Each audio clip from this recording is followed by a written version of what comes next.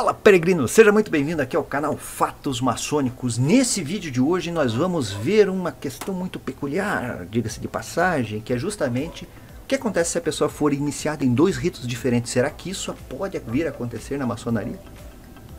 Eu me chamo Luiz Miller, sou mestre maçom e faço parte da Ordem Maçônica Universal. E se você está chegando aqui agora pela primeira vez, vou fazer um convite do fundo do meu coração. Faça sua inscrição aqui no canal Fatos Maçônicos. Deixe o seu like e ative as notificações, assim você vai ficar por dentro de todos esses assuntos que orbitam a Ordem Maçônica. Quer saber mais sobre maçonaria? Então eu eu recomendo isso, recomendo, às vezes dá umas falhadas aqui na cabeça, recomendo que você adquira o curso Entenda a Maçonaria, que o link está aqui embaixo, muito bacana, muitos bônus, dá uma olhadinha ali na minha página, tem muito material bacana, certo? Garanto que você vai gostar, vai ampliar a sua perspectiva sobre a maçonaria. Então a questão complicada aqui, na verdade, é do Marco Antônio Costa, certo? Ele fez o seguinte questionamento, né? Ponderação ou contribuição, melhor falando, né? Bom dia, sugestão de um vídeo. Dúvida? Caso tenha sido iniciado em dois ritos distintos.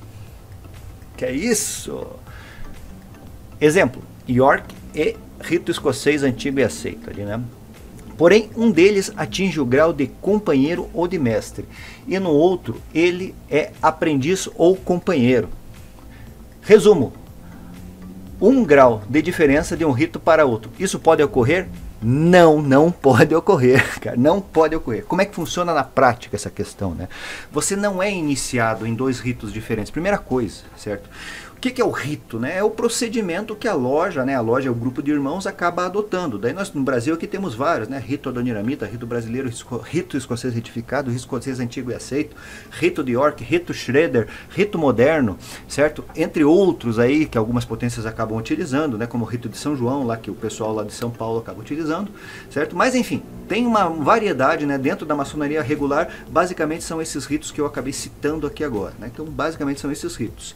Quando a pessoa pessoa é chamada para entrar na maçonaria, ela vai ser chamada para uma loja específica. E aquela loja trabalha determinado rito. O que, é o rito? Né? O rito é o procedimento, né? é, é, é todo um conjunto de ideias é, que faz com que a maçonaria se desenrole. A, a questão da maçonaria como uma escola, os procedimentos. Assim, a essência dos ritos nunca vai mudar. Nunca vai mudar. A forma de expressão, né? por exemplo, daí você vê forma de expressão, meu rito, Adoniramita, ele se expressa de forma diferente, certo? Para o bem e para o mal, diferente de um ou diferente do outro, mas se expressa. Rito moderno, diferente. Rito Schroeder, né? Tem, esses aí que eu falei, o rito Adoniramita, o rito moderno, são raízes francesas, como o rito escocês antigo e aceito. Rito Schroeder, por exemplo, né? rito de origem alemã, adotado aqui no Brasil, muito no sul, muito trabalhado. Um forte abraço aí aos irmãos do rito Schroeder, muito bacana, né? Se você é maçom regular e, é, e não teve a oportunidade de conhecer um, o rito Schroeder, não perca, que é muito legal, hein? Então, são as de, rito de York, né? Tem o rito de York, algumas potências trabalham o rito norte-americano, né? Que é aqui no Brasil conhecido como rito de York, e também tem o rito de York, é, que é o emulation, né? Que é o rito do Gobi, o Grande Oriente do Brasil acabou adotando né, os trabalhos ingleses e chama de rito de York. Beleza? Então, são ritos de raízes, in, é, no caso do, do emulation, em inglês, né, para não haver, não haver problema quanto a isso. E o rito de York tem o rito Blue Lodge norte-americano, certo? Também é praticado aqui no Brasil por algumas potências, certo? Então, quando a pessoa entra, ela vai entrar numa determinada loja, né? Você não vai ser um maçom solto por aí, vai, vai fazer maçonaria, sei lá, numa, numa, num café com os outros. Não, não é assim que funciona. Você vai entrar numa loja, geral, é, a loja já é constituída, né? Tem toda a estrutura, você vai entrar e vai começar a estudar, certo? Então aquela loja já trabalha, né? Num determinado rito, numa determinada forma, certo? Então é isso, né? Quer conhecer mais sobre as questões dos ritos, as histórias, tem lá no meu curso Entenda a Maçonaria, que eu conto a história de tudo ali, conto a história de tudo, né? Do tintim, por tintim, do começo ao fim.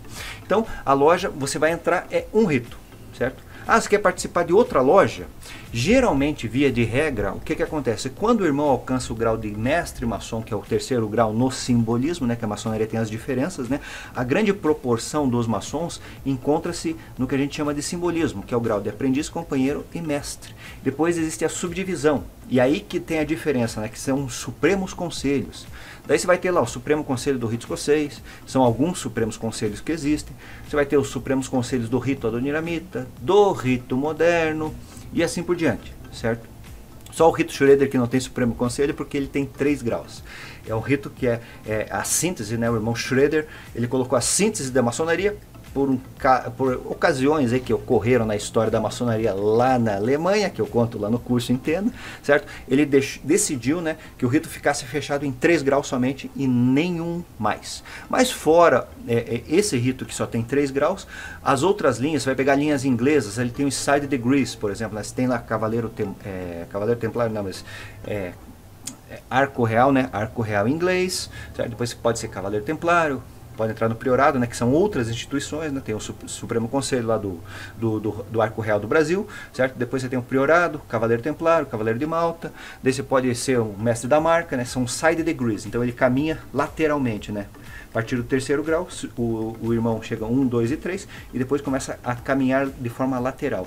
E daí nós temos os graus em escala, né? como o rito escocês antigo e aceito, que é o mais comum aqui no nosso país. Daí você vai entrar em uma outra instituição, que é o Supremo Conselho, e ele tem as suas, as suas subdivisões, podemos pôr desse jeito, né? que é a loja de perfeição, depois tem o capítulo Rosa Cruz, alguns adotam lá o o capítulo no Akita, depois tem o Kadoshi, Prescritoria, é, é, o que mais? É, Sodalicium, e, e, e ai, faltou um lá que é o grau 32, me fugiu aqui agora. Mas enfim, são pequenas estruturas que dependendo do grau que você está, na né? primeira divisão vai do, do 4 ao 14, depois vai do, do 15 ao 18, depois tem, um, tem algumas que depende do Supremo Conselho, tem uma divisão que pode ir do 18 ao 21, certo? Depois você tem o Kadosh, né, que é do 22 ao 30 e assim vai. Depois você tem um, uma parcela que é do 31, do 32 e do 33, né, que é o Supremo Conselho, certo? Então o Supremo Conselho é o grau 33, beleza?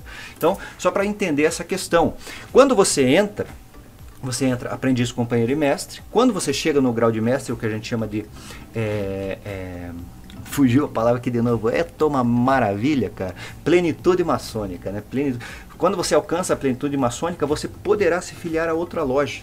Certo? Só que você será mestre maçom. Por exemplo, você está no rito escocês antigo e aceito. Ah, quero me filiar numa loja do rito do York, certo? Você vai entrar no rito de York sem problema nenhum, só que você não vai ter ser reiniciado. Isso não existe, né? Pra, assim, a grosso modo falando, como se fosse um batismo. Você vai ser, você não vai ser rebatizado, né? Você já é batizado. a iniciação é uma influência espiritual, né? Falando sinceramente, é uma influência espiritual. Quando você recebe, você vai ter que galgar vai ter que é, incorporar as questões das virtudes, vai ter que conhecer a estrutura da maçonaria, né, o, que, o que, que aqueles graus propõem, vai ter que conquistar o grau de verdade, né, porque você é simbolicamente iniciado. E quando você chega no grau 3, certo, do simbolismo, você pode é, eventualmente fazer uma dupla tripla, quádrupla, quíntupla, quíntupla e assim quantas é, lojas diferentes você quiser participar. Só que daí você vai ter que dedicar seu tempo, né? A legislação maçônica fala assim, você pode participar lá de 10 lojas. Só que você vai ter que ter frequência nas 10 lojas, certo? Senão você pode sofrer algumas sanções. Então, o que acontece é isso, Marco Antônio Costa, Marco Antônio Costa. Você não é iniciado em dois ritos diferentes, né? Você é iniciado em um rito, vai passar um determinado tempo, você pode mudar de loja, aquela loja trabalha em outro rito, só que se você foi iniciado em uma potência reconhecida, regular, tradicional, você irá e participa, é, vamos dizer assim, pode até mudar de potência, mas se você mudar para a mesma potência em outra loja, certo? Você pode mudar de loja, você pode fazer a dupla filiação aí é um rolo, né? Você pode sair da tua loja e entrar em outra, você pode participar das duas lojas, certo? Você pode sair dessa potência e ir para outra loja, você tendo a papelada, né, que tem tudo papelado, isso daí você vai ser reconhecido no seu grau, certo? Fora a questão da maçonaria, que é um, isso é um grande problema, né? Que é, é, às vezes não é aceito. Cada caso vai é um caso, tem que ser estudado, isso aí não é uma forma geral, mas irmãos, às vezes que entram em maçonaria liberal, depois ficam lá um determinado tempo, chega um determinado grau, sabe? Tem que ir lá conversar. Ah, eu quero entrar lá no, no, no, no, na maçonaria tradicional. Cara, daí tem que conversar, tem que ver como que é o negócio, etc, etc. Cada caso é um caso, né? Em algumas vezes ele pode vir a ser reiniciado. Isso é uma, isso é uma questão, né? Então, por isso tem que se tomar cuidado aonde você entra, né? Porque se de repente tem cara aí que entra vamos dizer assim, algumas, algumas questões aí que tem aparecido por aí. Não é de hoje, isso daí acontece faz tempo. E depois o cara quer entrar lá na, na, na maçonaria tradicional. Ele vai chegar lá, ele traz o papel, ó, eu sou iniciado assim, assim, assado, certo? De repente os irmãos lá vão fazer algum tipo de questionamento, isso daí vai ter que entrar num processo interno lá, né? vai ter que ser conversado, certo? É possível que se entre no mesmo grau? É, mas algumas vezes você terá que passar por isso tudo de novo, porque aquela sua iniciação pode não ser considerada válida, certo? Reiterando, cada caso é um caso nessa situação. Então fique esperto. Nesse vídeo de hoje eu vou ficando por aqui. Então, quer entender essas questões todas que eu falei? Então entenda a maçonaria. Até o nosso próximo vídeo e um fortíssimo e grande abraço.